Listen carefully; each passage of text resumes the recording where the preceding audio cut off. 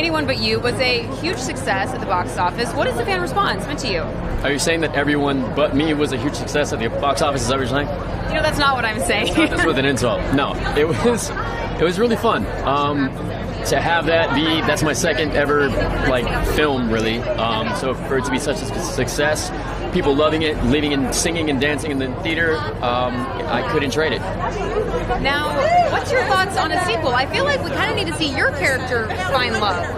Yeah, yeah. You know, it's interestingly enough, when you make films, a lot just ends up on the cutting room floor because directors, creators want to, you know, film such a story. You can't have a too long of a movie. Um, so yeah, I think there is a uh, part of Jonathan that was left behind, but who knows? Maybe a sequel.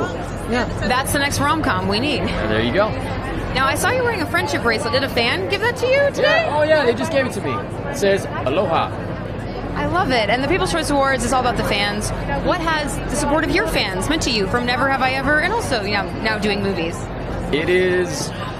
I mean, I don't know. People ask me sometimes, like, does it get to be a lot of pressure, or like, if someone asks for a picture, is it a lot? And I'm like, honestly, I.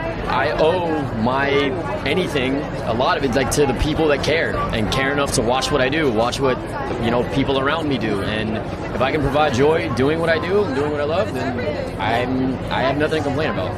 So I love it. I love that. And there's award to, an award tonight for binge worthy show of the year. I used to love to binge, never have I ever. What's a show that you binged recently that you really loved? I just started binging something last night called it? Resident Alien. It's like a sci-fi show that just hit Netflix, and it's just really great. I'm loving it. Yeah.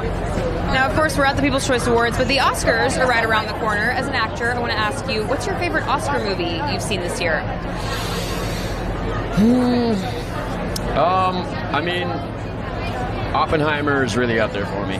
It's it's one of those ones I was not scared to devote my you know almost three hours to. So yeah, that one uh, I'm uh, Cillian Murphy, huge man crush on that guy. You know, just talent wise, he's incredible. So I wish all the best for him and the rest of the cast and team. And what's one thing you're looking forward to coming up this year in 2024?